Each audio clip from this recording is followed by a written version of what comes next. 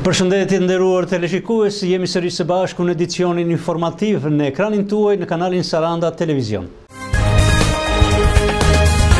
Sot në orën 18 në hollin e teatrit do të mbahet mbledhja e radhës së Këshillit Bashkiak. Kryesisht në këtë mbledhje do të kalojnë projektvendimet që kanë të bëjnë me bursa dhe me ndihmën ekonomike për muajt janar-shkurt 2017. Bashkia e Sarandës bën me dije se ditën e enjte më datën nëntë mars dy mijë e shtatëmbëdhjetë në orën tetëmbëdhjetë, në hollin e teatrit, pra në sallën e mbledhjeve të Këshillit Bashkiak, do të zhvillohet mbledhja e radhës së këtij këshilli me këtë rend dite, një.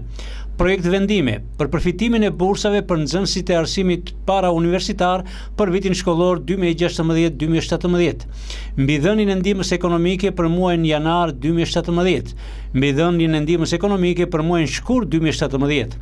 Për një ndryshim në vendimin e Këshillit Bashkiak numër një datë gjashtë shkurt dy mijë e shtatëmbëdhjetë për miratimin e paketës fiskale të vitit dy mijë e shtatëmbëdhjetë, rikonfirmim i vendimit të Këshillit Bashkiak numër tre datë gjashtë shkurt dy mijë e shtatëmbëdhjetë për nxjerrjen jashtë përdorimit të materialeve të ndërmarrjes së shërbimeve publike, për të cilën Prefektura Vlorë nuk u shpreh për mungesë dokumentacioni shoqërues. Rikonfirmim i vendimit të Këshillit Bashkiak numër 4 datë 6 shkurt 2017 për miratimin e ndihmës duke paguar qiranë e shtëpisë për 6 muaj për të cilën prefektura Vlorë nuk u shpreh për mungesë të relacionit shpjegues dhe dy çështje të tjera, propozime për ngritjen e komisionit të përkohshëm për vlerësimin e figurave.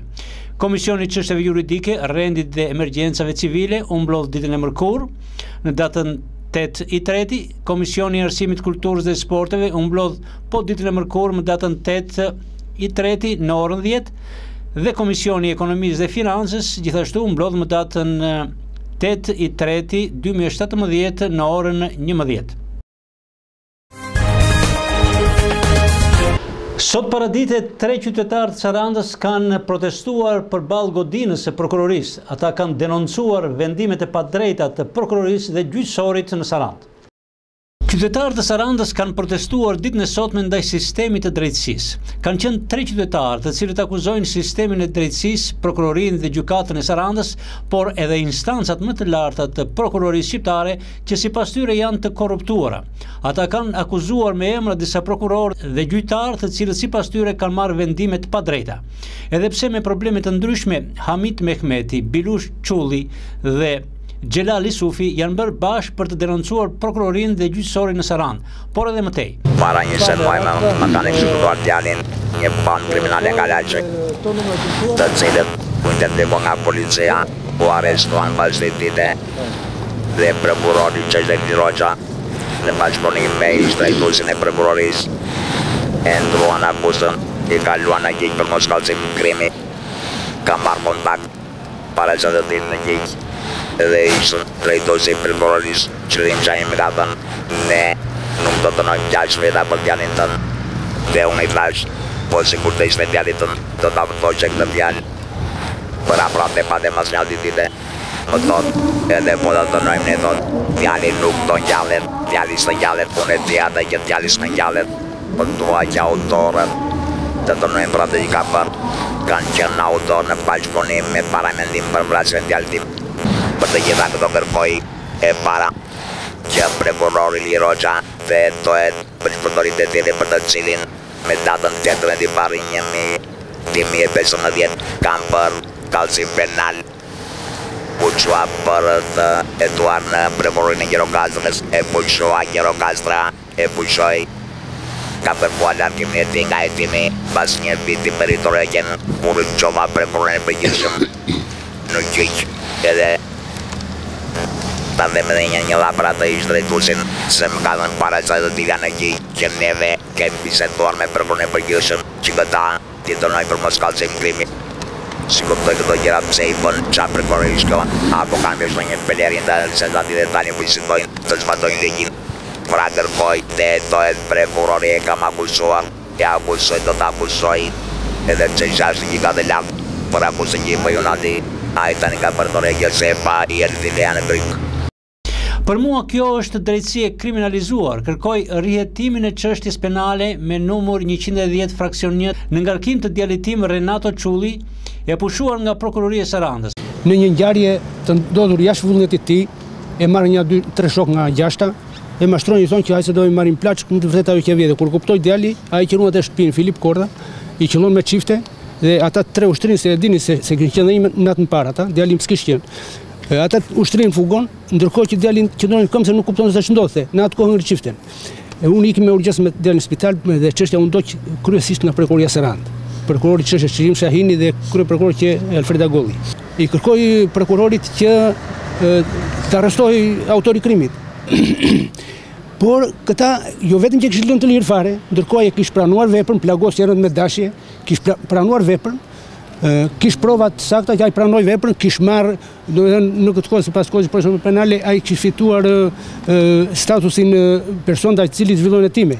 Dhe ata jo vetëm që s'i dhanë masë nuk e, e liruan, por nuk i dhanë as masë shtrënguese, duke ditur që ai banonte në Athinë. Dhe kur e kërkonim ne, ajo nxirrte raport policia, prokuroria që nuk gjendet. Kur e kërkonte prokuroria këtu për hesapet e saj vinte ai. Ko, Gjykata të prokuroria nxitoi të dënonte djalin tim me thëniet e bashkëpandehurve, duke i manipuluar atyre duke u zbutur masën e dënimit, me qëllim që të deponojnë për djalin tim që edhe Renatua kishte dijeni, erdhi me dijeni, nuk erdhi me. Dhe si përfundim e dënoi djalin tim 24 muaj provë. Prokurori Çlirim Shahini zgjati hetimet me nga 3 muaj pa më njoftuar mua si pandehu, si dëmtuar sipas kodit penale që zgjatje hetimesh bën prokurori 3 herë me nga 3 muaj, por duke njoftuar të pandehurin se i pandehuri ka të drejtë të ankimojë zgjatjen e hetimeve, arsye. Por këtë ky duke ditur që në fund të vitit do do bëhej do dilte amnistia e 100 vjetorit, ky zgjati hetimet me qëllim që ta kish kualifikuar veprën para para kualifikim para para veprës që plagosje e lehtë me dashje. Ndërkohë, masi u detyrua u bë ekspert, më të dërgon djalin te mjeku ligjor në Tiranë, Elmas Shaqiri, mbas 9 muajsh, mbas këmbguljes time, nuk ma dërgonte. Sepse donte që ta kapte amnistia veprën me kualifikimin që i bëri ai plagosje e lehtë me dashje. Kam njëzet e dy vjet që jam bërë pronar në një shtëpi banimi pasi e kam blerë atë, me kufizime të qarta, pronë tetëdhjetë e një vjeçare e konfiskuar nga sistemi diktatorial, por që i është kthyer ish-pronarit me gjithë orenditë që kishte brenda. Që nga gjashtë qershori një mijë e nëntëqind e nëntëdhjetë e pesë dhe deri më sot nuk po gjej zgjidhje të problemit. Për këtë akuzoj bashkinë, zyrën e regjistrimit, pas njëmbëdhjetë vjet gjyq, m'u dha e drejta, po u deshën dhe nëntë vjet të tjera të bëhej një zbatim vendimi gjykate. Në 2014-ën kam konstatuar që bashkia më kish shitur një pjesë të pronës së blerë. Për këtë kam denoncuar në prokurori që më kanë vjedhur pronën bashkia me zyrën e regjistrimit dhe ende nuk po gjej zgjidhje. Shpreh shqetësimin e tij Xhelal Isufi. U kam 22 vjet jam bërë pronar Kam blerë një shtëpi banimi me kufizime të qarta, pronë 81 vjeçare mush këtë vit dhe iu konfiskua na na shteti diktatorial dhe masi e, kaloi sistemi diktatorial, Ishte dorëzuar pronarit që ka jetuar në Greqi, jo vetëm shtëpia, por edhe orenditë brënda simbas inventarit. Dhe gjëja më e çuditshme që kam konstatuar se që nga 6 qershori 95 dhe deri më sot e kam kapur shtetin 2 herë hajdut dhe për herë të parë ka dështuar me mua Jam në momentin që të dështojë dhe për herë të dytë. Pse e kam kapur? Kam blerë pronën 81 vjeçare që e ka kthyer ky shtet. Tani, në 95 në momentin që që e kam blerë, bashkia Sarandë, ia shet një tjetri. Mas njëmbëdhjetë vjet e gjashtë muaj gjyq, Unë m'u dha e drejta, po duheshin nëntë vjet që të zbatohej një vendim gjykate, pra, këtu në Sarandë, flas, pra, ç'vlerë ka gjykata kur nuk e zbaton zyra e regjistrimit, pra, këtu kemi, siç e thashë, një, një shtet të vogël. Protesta përballë prokurorisë do të vazhdojë për tre ditë. Një grup biznesmenësh nga Kosova mbërrin sot në qytetin e Sarandës me ftesë të kryetares së bashkisë zonjës Floriana Koka. Ata gjatë qëndrimit në qytetin e Sarandës do të vizitojnë biznese të ndryshme që kanë të bëjnë me rritjen e peshkut dhe kultivimin e midhjes, si dhe biznese të agrokulturës në Xarrë, Mursi dhe Konispol. Ditën e sotme mbërrin në qytetin e Sarandës delegacioni i biznesmenëve nga Kosova. Grupi prej 20 biznesmenësh dhe autoriteteve që shoqërojnë do të priten dhe përshëndeten nga kryetarja e Bashkisë së Sarandës, zonja Floriana Koka. Në sallën e konferencave të Hotel Butrintit do të marrin pjesë edhe dy ministret, zonja Ekonomi dhe zonja Bajrami. Grupi i biznesmenëve gjatë qëndrimit në Sarandë do të bëjë vizita në qendrën e depurimit të midhjes në Manastir, në bizneset të akuakulturës në impiantet e midhjes së firmës Mane në ekonominë e rritjes artificiale të rritjes së peshkut te Gjiri i Hartës në Ksamil.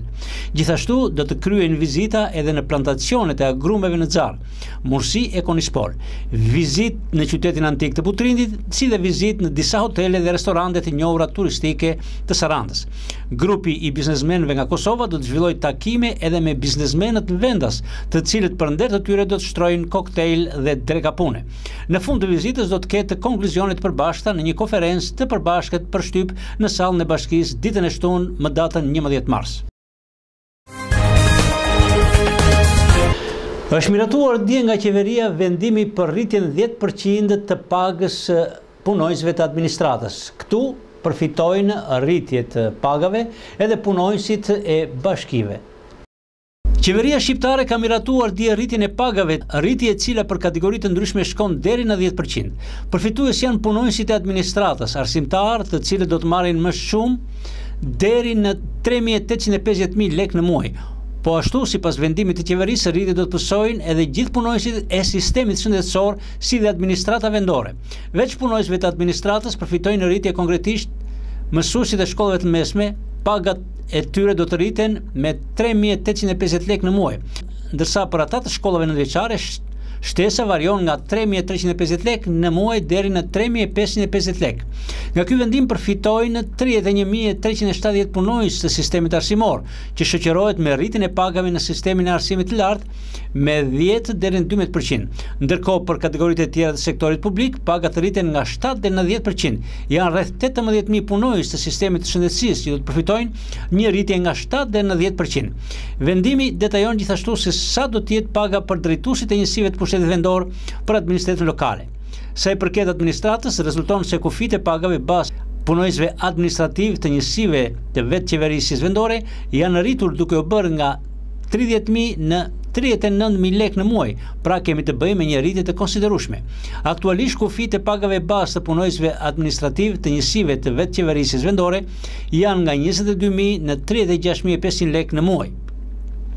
Në total janë rreth njëzet e një mijë punonjës që përfitojnë në rritjen e pagës nga kategoritë e përcaktuara në vendimin e Këshillit të Ministrave dhe kostoja vjetore financiare është një miliard lekë. Po ashtu, vendimi përcakton dhe rritje me shtatë për qind e pagës për administratën në njësinë e pushtetit vendor.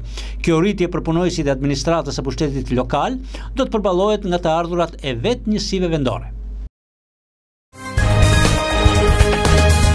Të nderuar teleshikues, ndoqët edicionin informativ të ditës së sotme, ne ju falënderojmë për vëmendjen.